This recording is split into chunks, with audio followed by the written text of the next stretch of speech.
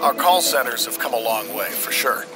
But as our business strategy evolved along with our technology, when was the last time we evaluated the capital cost of having people physically in a brick and mortar and the cost of overtime? We can't staff for peak call times, so either our customers are waiting or our talent is bored, and the turnover costs are killing us. Let's face it, we don't have a real career path for these people. And the channels of communications are constantly changing. It's not just phone anymore. Now it's phone, chat, email, and social media. We're moving faster and faster all the time, looking at metrics like answer time, calls dropped, first call resolution.